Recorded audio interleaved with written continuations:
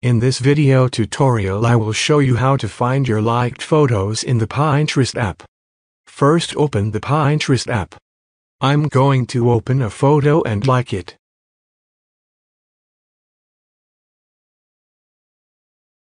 To find our liked photos go back.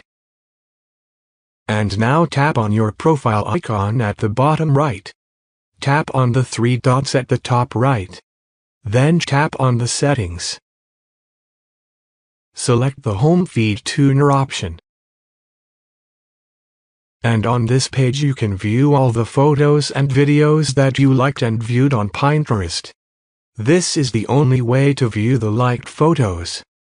Pinterest hasn't made a special option to view only your liked photos yet.